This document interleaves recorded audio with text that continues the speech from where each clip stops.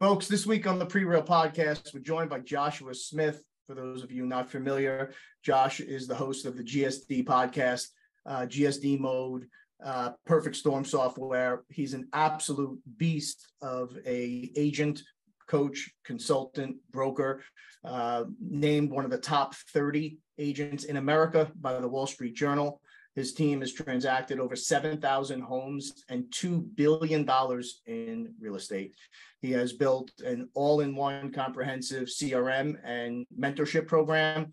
Um, as an owner of a real estate business, I could tell you it was an absolute pleasure to sit and chat with him. A lot of great information. Joshua Smith from GSD this week, guys.